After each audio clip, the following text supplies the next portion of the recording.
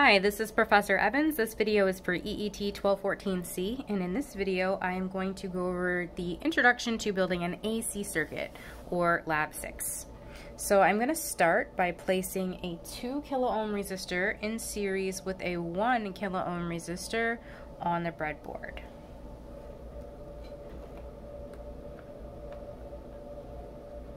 Remember these are in series, so they are going to share a node or a connection on their breadboard. So I have my 2 kilo ohm in series with my 1 kilo ohm, which is just going to ground. Now we're going to add an AC source to this circuit. To do that, I'm going to need to use the function generator, which is right here on my bench. The function generator has a couple of options. You have two output ports. The one on the left is for digital devices, like when we built circuits out of AND or and NOT gates. If you wanted to have a square wave function or a clock signal for a digital circuit, you're going to use the output on the left. If you're building a circuit like we are today, an AC circuit, you're going to use the port on the right. So you're going to make sure that you connect to the port on the right if you're building an AC circuit like we are today. You're going to need a function generator cable to connect to the function generator. It's a cable that has a connector like this on one end, and on the other end it is split between a red and black wire. The red is short, the black is long. This is what your function generator cable looks like on the other end. So you're going to take the cable and connect it to the function generator by pushing and then turning to secure it onto the function generator. The red is like your power and the black is like your ground. So we're going to connect our function generator to our circuit by connecting the red where current is supposed to go in and black where current is supposed to exit. So I have the function generator connected and now I'm going to turn it on by pressing the power button in the middle and you'll notice that you have a frequency display here. You can change the frequency by turning this knob. You can change the range of the frequency by hitting these arrows. Notice that this unit will change and the decimal point moves to the right every time I hit the button on the left. If I want to make it bigger, I hit the button on the right. The decimal point is moving and the units are getting larger. So for example, if I go to the left, I have 270 hertz. If I go to the right, now I have 2,765 hertz. If I go to the right again, now I have 27.47 kilohertz. So watch the unit as it changes. And that is how we manipulate the frequency. So this knob can go up or down after you get it within the range that you want.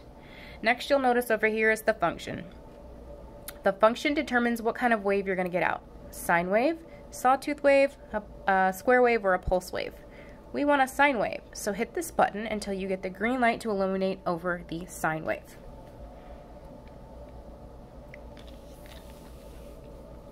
The next thing we're going to do is use the oscilloscope to measure the um, AC voltage that is currently coming out of the function generator. Right now we have it turned on, we have it delivering a sine wave, but we can't really see what's happening. So in order to do that, we're going to use the oscilloscope. Um, one thing that we're going to finish doing before using the oscilloscope is setting the frequency. So this should be at 700 hertz.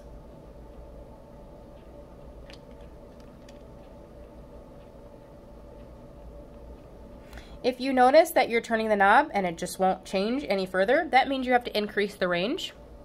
So now I've gone from 575 hertz to 5,892 hertz, and then I have to go back down to the level that I want. So I'm going to keep turning.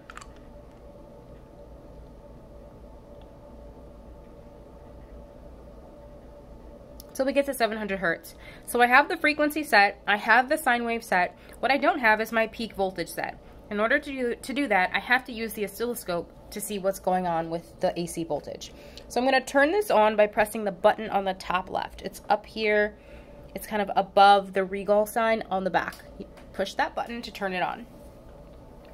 And in order to see what's going on, you're going to need an oscilloscope probe.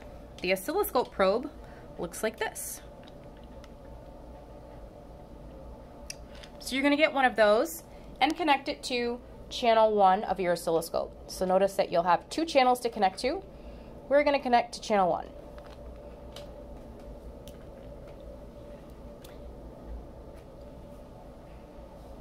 Notice that I had the LA button highlighted and there were some lines on the screen when I turned this on. If that happens to you, just hit the LA button until it turns off. Now we're going to take our scope probe and we're going to connect it to the left side of R1. This is so that we can measure the input voltage coming into R1. I'm also going to take a wire and ground this little black alligator clip hanging out of the probe. So your probe has to connect to any point on the circuit and then be grounded. Now this probe can take measurements and show us what's going on at that particular point in the circuit.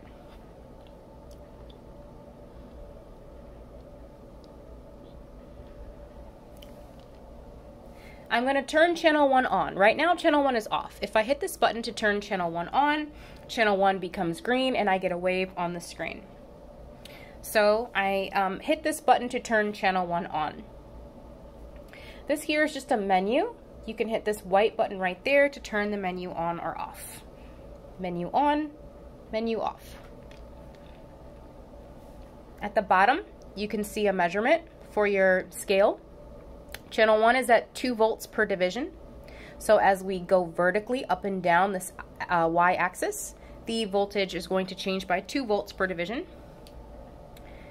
We can see the time here is 5 milliseconds per division. So now that I'm just focusing on the scope for a little bit, I'm going to zoom in just to the oscilloscope so that you can have a better view.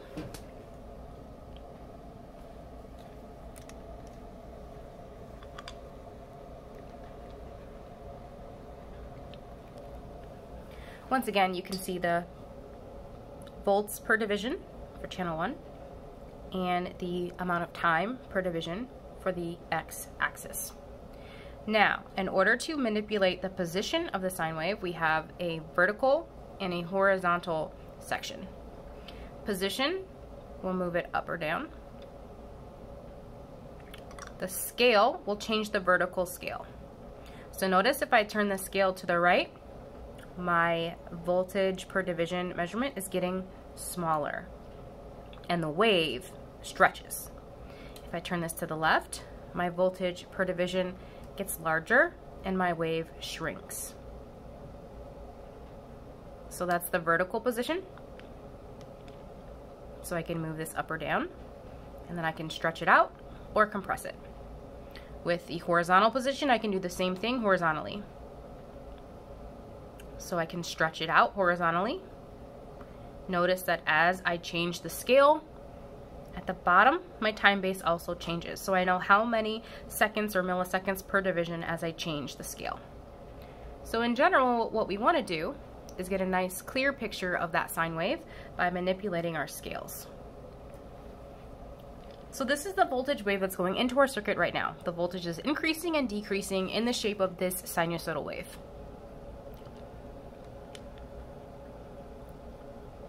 Next, we can use the measure button to measure certain elements of voltage or time. Notice that the source says channel 1. I can change that to channel 2 if I'm using channel 2. Right now, nothing's connected to channel 2. So I'm just going to make sure that that says channel 1. Now, if you hit the button right next to voltage, you can scroll down and you can have any of these voltages added to the screen. It'll measure it for you. So for example, if I want to measure peak to peak voltage, I'm going to make sure that I'm hovering over it and then press that button into the oscilloscope and you'll get a measurement right there. I can go back and add my RMS voltage. I can also go to the time menu and add period or frequency. So I'm going to add frequency. So I can see that although my function generator is set at exactly 700 Hertz, this is bouncing between 694 and 794. Now if you look at the lab in your manual, this specific circuit is supposed to have a peak to peak voltage of 5 volts. Peak to peak voltage of 5 volts. Right now, the peak-to-peak -peak voltage is measured as 2.2 volts. So let's talk about how we're going to change that. In order to change that, I'm going to zoom back out.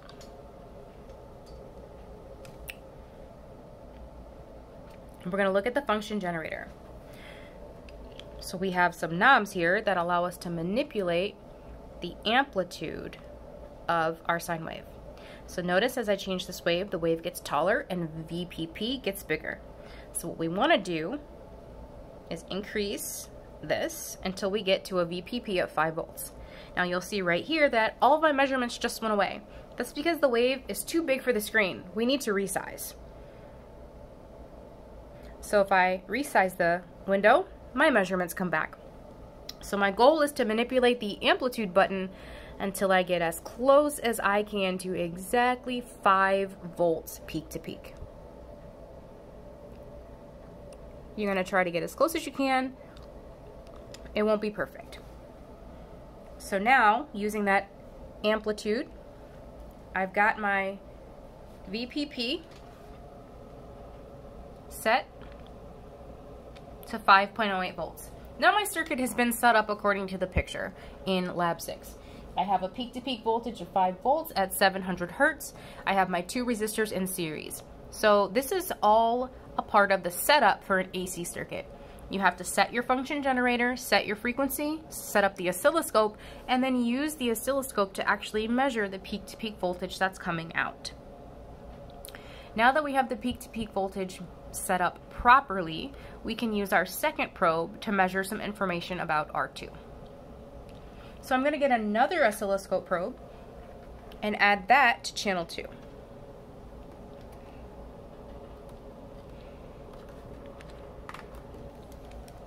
I'm going to clip the probe onto the top of R2.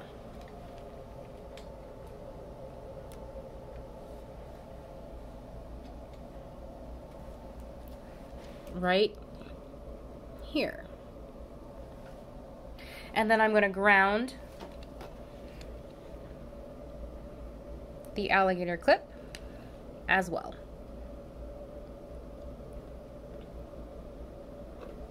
So now I have channel 1 connected to R1, channel 2 is connected to R2. Now we can zoom back into the oscilloscope and talk about how we get measurements. So let's turn channel 2 on by pressing the channel 2 button.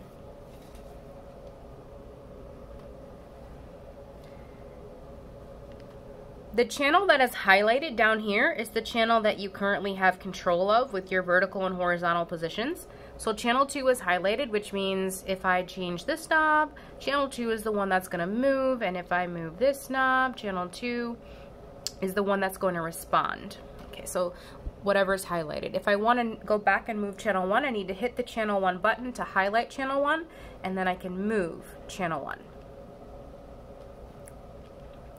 Now you'll notice that there's a scale for channel 1 and a scale for channel 2. We want to make sure that these scales are the same. For example, if I go to channel 2, if I highlight channel 2 and I change the scale, like that, channel 1 looks significantly bigger than channel 2 if we're just looking at the picture without using the scale as a reference. It can be misleading. We always want to check our scale, but in general, let's use the same scale with both channels so that we have an accurate relative picture of one wave to the other. So I can see that the yellow wave is our input voltage and the blue wave is our voltage across R2. If I go back to measure, I can then I can now change the source to channel 2 and I can measure VPP for channel 2. But when you add that to the screen, notice that what was here shifted off. You only get three measurements on the screen at a time. As you add new measurements, old ones will shift away. Notice that my voltages for channel 1 are in yellow. Voltage for channel 2 is in blue. But I can measure any value I want between channel 1 and channel 2 by just hitting the measure window and then selecting my source, channel 1 or channel 2, and then going to the measurement that I'd like to see. So for example, I'm going to add my RMS voltage for channel 2.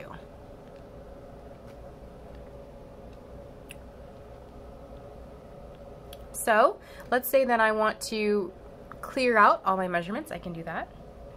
I can also hit the display all button and get a table of all the measurement values at one time. And then I can look for the value that I'm trying to find. I can change this to source channel 1 and it'll turn yellow and now I have all the same values for channel 1 as well. So this is how we can take measurements using the scope, using the measure button. When you're done with this, you can turn it off